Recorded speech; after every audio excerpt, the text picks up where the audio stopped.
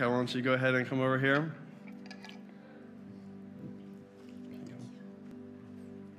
Hi, my name is Becca. In my life before Christ, I had anxiety and I never felt complete or content, no matter how successful or perfect my life appeared.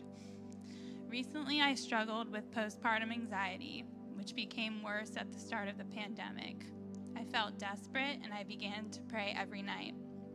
I kept asking God how I could help others during this challenging time. He responded by revealing to me the very real spiritual battle taking place behind the scenes.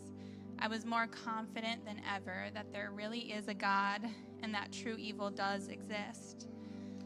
As I searched for ways to grow myself spiritually, the devil deceived me into New Age practices. The harder I searched in the world for answers, the more lost I became. At my lowest point, God placed me in the hands of a Christian therapist who helped me redirect my attention back to Christ. As I dug into scripture, I learned a few things that changed me forever. One, that fear is not from God. And two, that we have power over the enemy.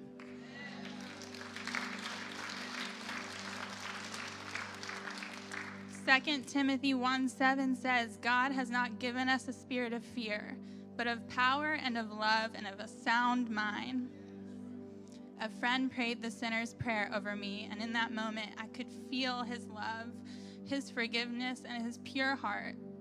And that was the beginning of my repentance and the shedding of my old life. My anxiety has since disappeared.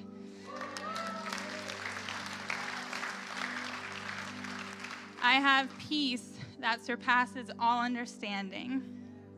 I feel joy even in the midst of this broken world.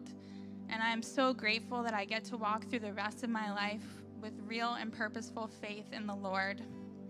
Today, I confess into the church and to all the world that Jesus Christ is my Lord and Savior. Amen. Amen.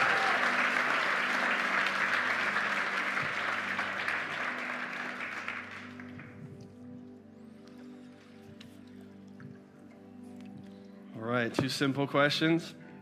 First, do you believe Jesus has done everything necessary to save you? Yes. And are you willing to go wherever he wants you to go and do whatever he wants you to do? Yes. Amen.